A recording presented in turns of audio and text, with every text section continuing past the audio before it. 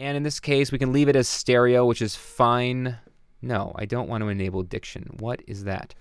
Uh, and we can leave no, don't find enhanced. What are you doing?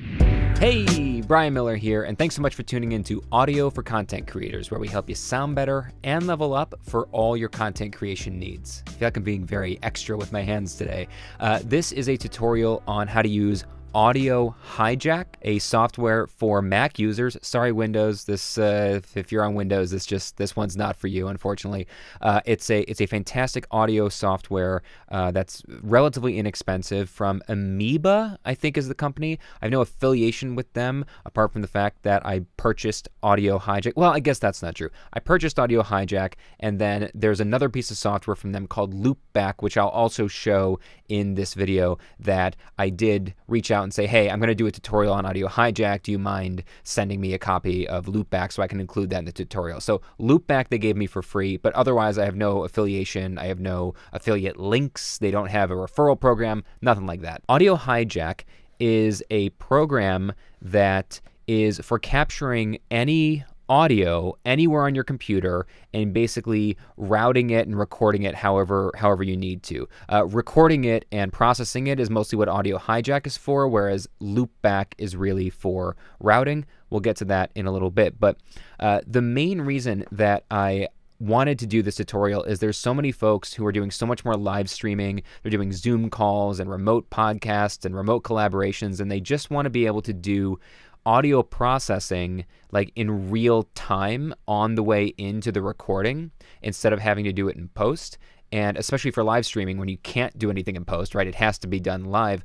Uh, you can get complicated, expensive pieces of hardware to do that. And I have some hardware, uh, but this entire tutorial is going to be recorded using this, which is the Movo VSM7.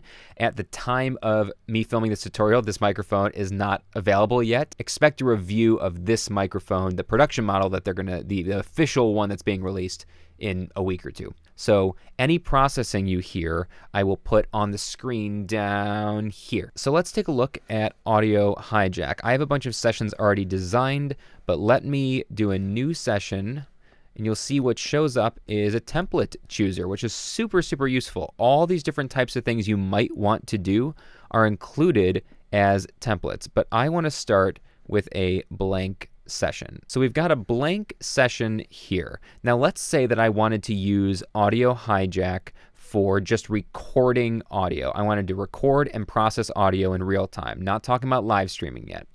First thing I would do is go up here and choose input device, and I'm just going to drag it onto the screen. Choose what my input device is. In this case, it's my audio box. I'm actually going to choose uh, input 2 as both my left and my right channel, which means I'm now capturing this microphone as a dual mono on both sides. Uh, now, for what it's worth, I'm not capturing anything through Audio Hijack yet. All the audio you're hearing right now is being recorded directly into OBS, which is how I'm doing the screen share. I'll tell you when I'm actually using audio from, from Audio Hijack. The next thing I'm always going to do is go down here to meters and choose a peak RMS meter and drag that in. And for right now, let's just add one more thing, which is a recorder. So right here, we've got recorder.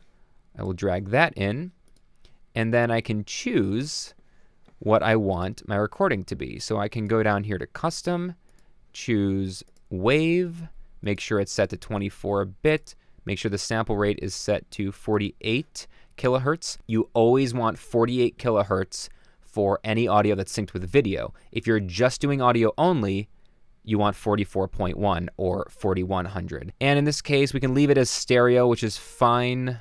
No, I don't want to enable diction. You can leave this as stereo because we've already set our audio to a dual mono. Otherwise, you could just change this to mono. Okay, now down here you'll see the big red record button, and as soon as you hit that, you'll notice that now our meter is pegging and it's showing you where the audio chain is actually recording.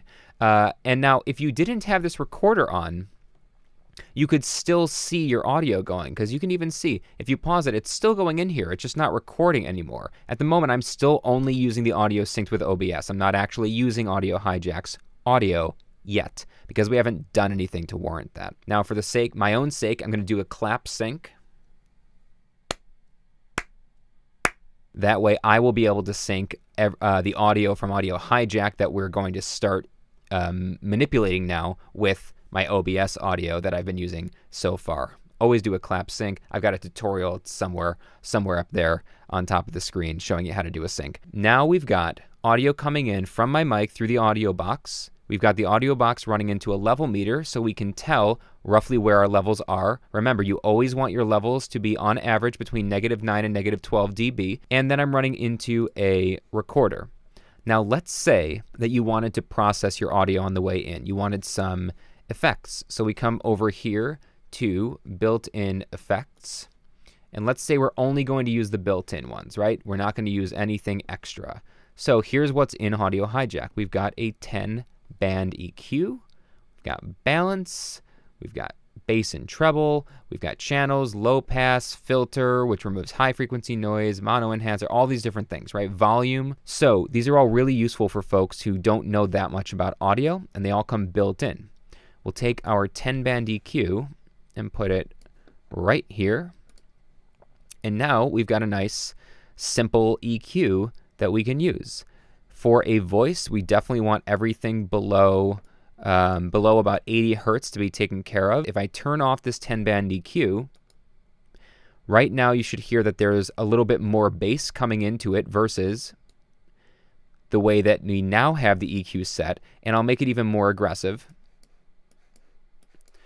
just so you can hear how big a difference it makes when you're using an EQ that is killing all of the low end versus turning it off, and now we have all of the audio that's being recorded naturally.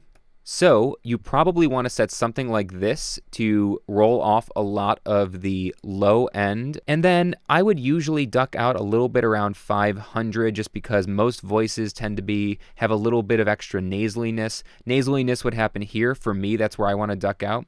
If you have some boxiness in your recording, if it sounds like it was recorded in a box, that might be around 250. If you need to bring some clarity out, get a little bit more of the punch of the uh, the the higher frequencies, you can boost up around eight or even four, but I would try eight. You can really manipulate, and you need to do this for your voice because my voice has a very different tone than your voice, so you need to play with this. But the point is, you can use your 10 band EQ and completely change your audio processing on the way in, and completely change your audio processing on the way in, and completely change your audio processing on the way in. Now that's fantastic. If you needed to, let's say, um, oh, I don't know, volume. Now what we could do is take a look at our level here, and let's say that you needed to get extra volume. This two times overdrive is a way to increase your volume by dragging up the meter, right? So you can go up to twice as loud as you are actually recording. So now you're hearing it with it way cranked up up here, which is getting pretty close to peaking, and I want to be very careful about that, versus if I bring this back to 100, now you're hearing that this is the way I'm actually recording on the way in. 100 is not. It's basically normal. It's what I'm already recording it as. And if you need to really crank, you can go to three times or four times. I wouldn't recommend that. You're probably going to overdrive your whole system. Let's say that you were you were clipping basically, or you were peaking, or you were coming in really, really hot. Well, then you could of course back off the volume, uh, and and as I'm backing off this volume, of course you can see what it's doing here. We're way down here now around minus 18. But let's say you are live streaming and you don't want to be around negative 9 to negative 12. You want to be closer to, you know, minus 3 or minus 2. You could really come all the way up here to like 170 and now you're going to be getting a pretty solid output for any of your live streaming purposes. Now you notice what just happened as I said something a little bit too loud, I clipped there, and that is of course because I have my volume way too high. So I would probably want to back that off a little bit just to avoid clipping. Now, Audio Hijack does not come with a built-in compressor or limiter, which is really kind of a bummer and quite an oversight for a program like this. Uh, there really ought to be, at the very least, a compressor slash limiter that has some mild functionality, even if it's mostly auto modes, so that you can just keep your voice in check and also uh, choose your maximum output uh, with a limiter so that you can't accidentally clip or overdrive during your live stream. Um, but let's say that you own or have downloaded a free compressor or limiter. In that case, you'll find it way down here under audio unit effects. Now you'll notice, because I'm an audio engineer as a passion, I own a million effects. Let me just show you a limiter. Forget a compressor for right now. Let's just go grab a limiter, and I'll put that here. So I've turned off the volume, and again, you notice that it's showing me that this that I'm recording all the way through. If something was wrong, you would see it that the audio was not making it to the next stage visually with these different highlighted areas. So let's pull up this limiter. This is the Waves L1 limiter, a very standard kind of industry standard limiter. And maybe I've got this live stream limiter uh, preset that I've already got going here. So maybe this is what I want for my uh, my live stream limiter at a minus 3 threshold with a minus 1.5 output ceiling. So this is going to make sure that I never clip. So if I really got way too loud right now, I would never get louder than minus 1.5. Watch right here. If I started screaming, it would never get louder than 1.5, minus 1.5 which means if you are doing a live stream and you laugh really loud out of nowhere or you start screaming because you're excited, that you are actually not going to clip or overdrive or blow out anybody's ears, which is really, really useful. Now, you can obviously go download free limiters. I don't have any in particular that I recommend, but I'll look up a few and leave them in the description. There are always free plugins that you can get, and you should be able to use them with Audio Hijack no problem. Lastly, let's consider how you would actually use this for live streaming itself. Right here, I'm going to choose output device. You can choose a different output, and what you're going to want is a virtual microphone essentially that you can tell your streaming software is your mic. Now, Loopback is the um, the Amoeba software that I mentioned earlier, uh, which I'll show you in a second. But you could use Soundflower. Soundflower is actually the uh, free the freeware for Mac that allows you to have a virtual um, a virtual microphone. So if you download Soundflower, you set it up. You have to go through those instructions again. I'll leave I'll leave those those links in the description. Again, no affiliation with Soundflower. Then your audio will be getting processed and hitting Soundflower. So then all you'd have to do is bring up your streaming software. Okay, so let's say I was streaming and I can't show the uh, cam right now because OBS is using it, obviously. But if I go into audio and I choose disable audio processing because I don't want StreamYard doing its own audio processing, and then I choose Soundflower, now, Soundflower is actually the microphone. It's the it's the microphone that's being used for my audio capture. It's a pretty low signal right here, so I could really I could crank that up obviously. I could turn this back on and really crank this up. And now that this is super cranked up, you'll see that I'm smashing into the limiter quite a bit here, but if I go in here, you'll see that my volume overall just got a little bit hotter. Okay, now we are back on normal.